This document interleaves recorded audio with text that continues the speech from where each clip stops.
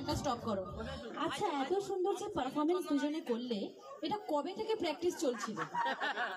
এটা পনেরো দিনের এটা পনেরো দিনের প্র্যাকটিস বলছে দুদিনের প্র্যাকটিস আচ্ছা আচ্ছা পনেরো দিনের, আমি মেনে নিলাম। আচ্ছা তোমরা দুজনে একসাথে রেডি হয়েছো না আলাদা আলাদা? এক- একসাথে রেডি হয়েছো একই রুমে মানে আলাদা আলাদা রুমে রেডি হয়েছো। তো আমি জানতে চাইব যে এই মুহূর্তে তোমার হাজবেন্ডের পকেটে কত টাকা আছে? আন্দাজ?